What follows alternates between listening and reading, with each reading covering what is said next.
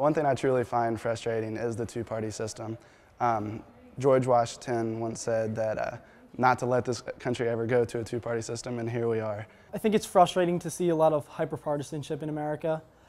You see elected officials who can't seem to agree on things that might be taken as a given, just like passing the budget, for instance. It's the issue of separation and the fact that everything is way too radically individualized without any sense of community. Party loyalty is the major thing, and if you ever try and break away, it's you almost become ostracized. It's clearly the disconnect that was between the elected officials in Washington and the rest of the American public. I think some of the comments in the, in the presentation this evening touched on those that most Americans are moderates. Most of the Americans fall in the middle of the political spectrum, and yet in Washington we're governed by extremists of the left and the right. It truly impedes the political process, and I think we need a strong leader that can bring the two parties together. I think that this is a significant move because it's changing something about the system, about how our electoral process is run. Whatever room there is for, for a third approach to politics, I think we'll get a very attractive, a very large audience be willing to be attracted to that particular